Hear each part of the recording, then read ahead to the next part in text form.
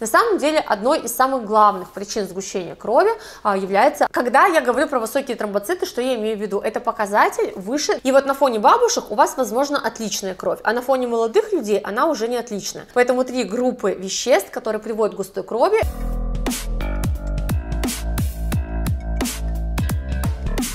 Всем привет! С вами Ксения Черная, и вы смотрите канал про здоровье. Сегодня мы поговорим о том, как сделать так, чтобы снизить уровень тромбоцитов без приема лекарственных препаратов. Потому что самый э, частый способ снижения уровня тромбоцитов – это прием лекарственных препаратов, разжижающих кровь.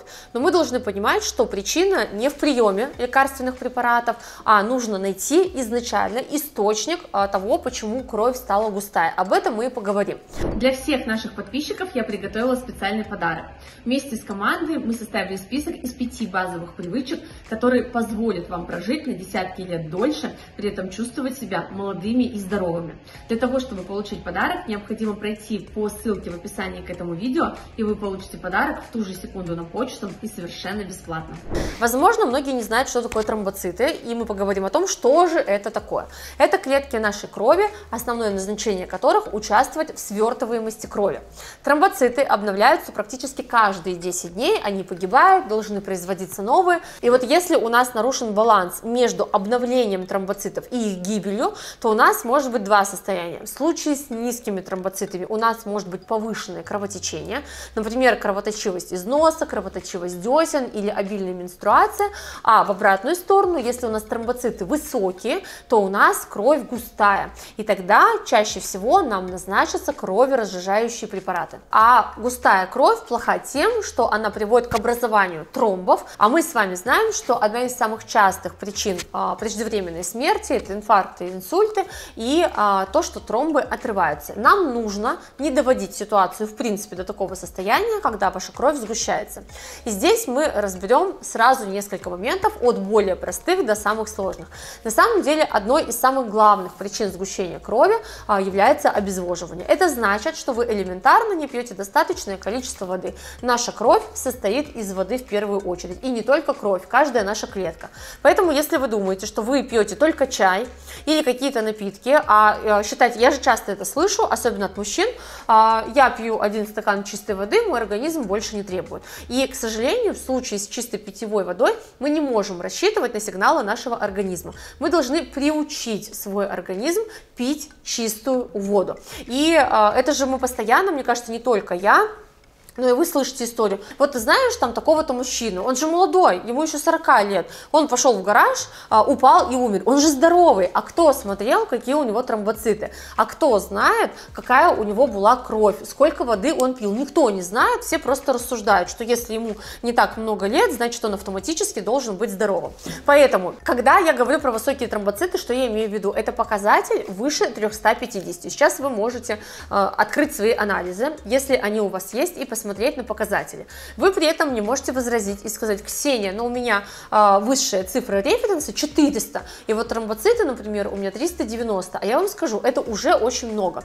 Почему? Мы это, во-первых, разбираем все на нашем бесплатном вебинаре «Лаборатория здоровья», каждый показатель, оптимумы по анализам и почему это не отражение вашего здоровья. Потому что анализ пришли сдавать. Во-первых, смотря в какую лабораторию, смотря какие реагенты. Туда пришла бабушка и, например, пришло больше бабушек, а в другой лаборатории пришло больше молодых. И вывели среднестатистическую цифру среди всех тех, кто пришел сдавать этот анализ. И вот на фоне бабушек у вас, возможно, отличная кровь, а на фоне молодых людей она уже не отличная.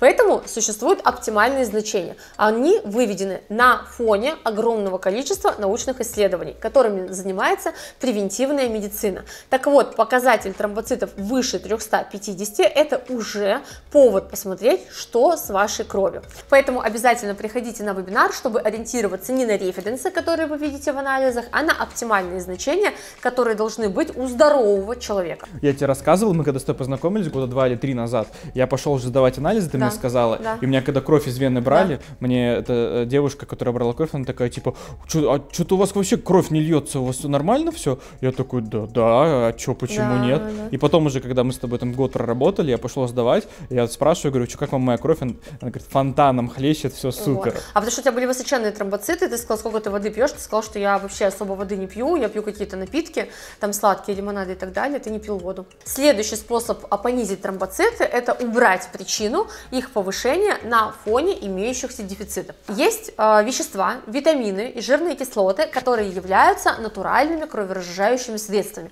Поэтому мы должны есть разнообразно, у нас должны быть абсолютно различные продукты, которые содержат эти микроэлементы. Так вот, на фоне B12 анемии у вас может быть густая кровь, а, есть конкретный такой диагноз B12 анемия. Даже на фоне просто дефицита витамина B12 он может быть. А, когда в рационе есть дефицит витамина С, а он есть у большинства, потому что это водорастворимый витамин, а не так много зелени и овощей мы едим, чтобы устранять этот дефицит. И третья, самая главная причина, особенно у пожилых людей, это дефицит омега-3 жиров. У нас очень много провоспалительных омега-6, у нас есть видео про полезные жиры, и очень мало омега-3 жиров, потому что они дороже, потому что мы не любим есть жирную рыбу, печень трески и так далее. Но более того, пожилые люди, скорее всего, должны принимать омега-3, потому что они точно ее не доедают. Омега-3 жиры разжижают нашу кровь, восстанавливают мембрану наших клеток, являются э, очень важным anti-age э, нутрицевтиком, поэтому три группы веществ – это витамин С, это омега-3 и это витамин В12, на который вы должны обращать внимание. Опять же напомню, что анализы, референсы, которые должны быть, мы разбираем на бесплатном вебинаре «Лаборатория здоровья». Особенно это касается витамина В12, потому что по крови определить его достаточно сложно, все ориентируются на середину, но у нас есть косвенные показатели его дефицита, такие как средний объем эритроцитов или гомоцистеин, которые точно нам скажут, есть или нет дефицит витамина В12. В общем, обязательно приходите на вебинар. И последняя причина повышенных тромбоцитов – это проблемы с кишечником. Особенно, если уже есть поставленные диагнозы, например, такие как язвенный колит, но любой воспалительный процесс в кишечнике а, приводит к повышенным тромбоцитам, потому что тромбоциты пытаются бесконечно бороться с воспалительным процессом, который там происходит, и их вырабатывается избыточное количество. Поэтому, если вы знаете, что у вас есть проблемы с ЖКТ, у вас есть вздутие газообразования, либо вам поставили диагнозы, связанные с желудочно-кишечным желудочно трактом, вам нужно заняться его восстановлением. Получается, что когда вы видите высокие тромбоциты, вы не решили никакую основную причину их повышения, вы просто начали принимать кроверазжижающие препараты. А дальше та основная причина, она у вас усугубляется и усугубляется ваше состояние. А можно ли одновременно и следовать твоим рекомендациям, закрывать дефициты, пить воду, э, заниматься ЖКТ и пить кроворазжижающие?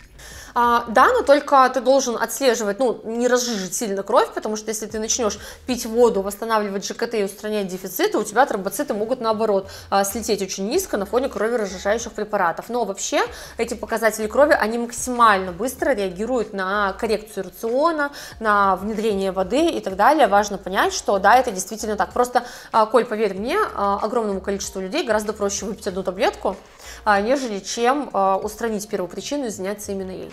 Пожалуйста, обращайте внимание на свои показатели. Если ваши тромбоциты выше 350, ни в коем случае не закрывайте на это глаза. Нужно всегда смотреть другие показатели, их интерпретацию. Высокий показатель – это не причина обязательно сразу же начать принимать кучу лекарственных препаратов. Мы можем все это корректировать нашим рационом питания.